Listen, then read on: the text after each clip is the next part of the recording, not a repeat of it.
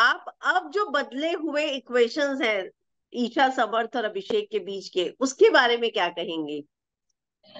uh, मुझे लगता है कि समर्थ अब गेम में पूरी तरह से आ चुका है।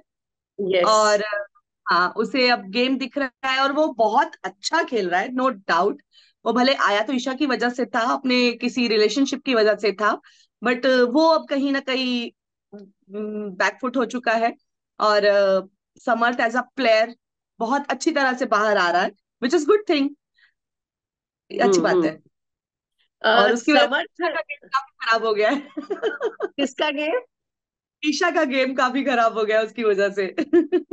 आपको लगता है कि ईशा बहुत गलत जा रही है कहीं कहीं जगह जिन शब्दों का इस्तेमाल भी वो करती है जैसे खानजादी की फाइट की मैं बात करूँ।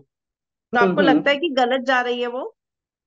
ऑब्वियसली बहुत ही ज़्यादा गलत जा रही है। मुझे लगता है कि शायद करण जौहर और सलमान जब आते हैं तो दो तीन जो चुने हुए लोग हैं, उनके बारे में बात होती है। Maybe I don't know the reason Karan Johar भी आए तो उन्होंने विकी और अंकिता और अभिषेक के बारे में ही बात की। और जो इतना बड़ा मुद्दा था, उसको बहुत ही लास्ट में उठाया गया। वो भी जब अभिषेक इतना हाइपर हुआ, इतना अग्रेसिव हुआ, और उन्होंने पोक किया तो इतना वो अग्रेसिव हुआ तो उठाया गया।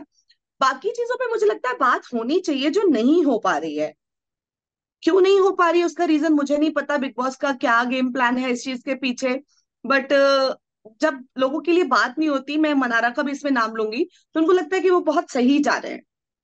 बट यस उनको ये नहीं पता कि वो बाहर ऑडियंस के सामने कितना गलत पोर्ट्रे हो रहे हैं।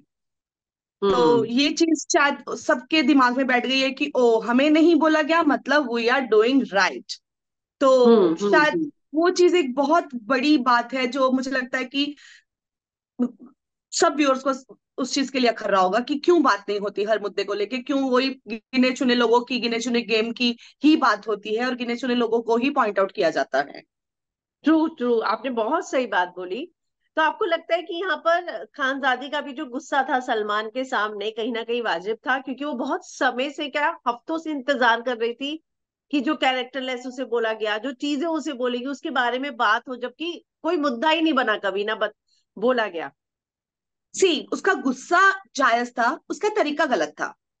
ओके हम आ, हमें आ, जब हम अपने बड़ों से या अपने से पोजीशन में बड़ों से बात करते हैं हमें वो एक रिस्पेक्ट जो है वो रिस्पेक्ट का दायरा मेंटेन करना चाहिए। जो शायद उसने खो दिया मे बी वो इतना ज़्यादा उसके ऊपर एग्रेसिव हो चुकी थी या इतना ज़्यादा उसका मतलब हो चुका था कि वो फटा।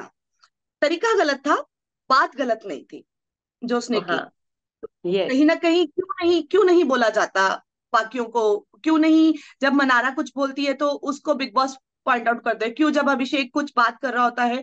अब घर में है घर में हम किसी से डिस्कस करते हैं कोई चीज़, उसको अगर सारी दुनिया के सामने आप ऐसे उजागर करोगे तो उनका तो गेम खराब हो जाएगा। हो रहा है इनफैक्ट विक्की शांत हो गया है, अभिषेक शांत हो गया है, अंकिता बहुत पिस्ड है इन चीज़ों को लेके, और जो लोगों के बारे में बात नहीं होती, उनको ज़बरदस्ती का हाइप मिल रहा है। मुझे नहीं लगता कि बिग बॉस जैसे प्लेटफॉर्म पे ऐसी चीज़ें होनी चाहिए। हम्म। आपको लगता है कि ईशा खानजादी से जलती है? खानजादी और अभिषेक से अगर मैं पर्टिकुलर पूछू तो। यस यस एब्सोल्युटली उसमें तो कोई डाउट ही नहीं है कि जब अभिषेक और ईशा खानजादी की क्लोजनेस हो रही थी तो ईशा ही थी जिससे सबसे ज़्यादा प्रॉब्लम थी क्योंकि खानजादी और ईशा का वन टू वन मैंने ऐसा कुछ नहीं देखा जिसकी वजह से वो खानजादी को इतना कुछ बोल सके। इनफैक्ट एक लड़ाई में तो घर से भागी हुई लड़की ये वो फलाना ढिमकाना माँ बाप का नाम खराब कर दिया। अगर उसने माँ बाप का नाम खराब किया तो तुम क्या कर रही हो? सॉरी टू से बट तुम क्या कर रहे हो? ये चीज़ें लड़ाई में नहीं आनी चाहिए। बाहर की चीज़ें आप अंदर की लड़ाई में क्यों लेके आ रहे हो? ये हाँ तो गलत हाँ। बात है। ठीक है खानजादी ने कुछ गलतियाँ की हैं नो डाउट जिसने जैसे उसने मैं शायद उसकी जगह होती तो मुझे भी मैं विक्की की जगह होती अपने आप को विक्की की जगह रखती हूँ। अगर मेरा गेम ऐसे आउट हो चुका होता तो मैं भी कहीं ना कहीं बोलती कि मैं नहीं कर रही अब कुछ। अगर हर चीज़ ऐसे खुल के सामने आनी है तो मैं कुछ क्यों करूँ? तो वो चीज़ें हैं। तो हम्म। अपनी लड़ाई को दायरे में रखो कि रिस्पेक्ट आपकी भी रहे रिस्पेक्ट सामने वाले की भी रहे। हम्म।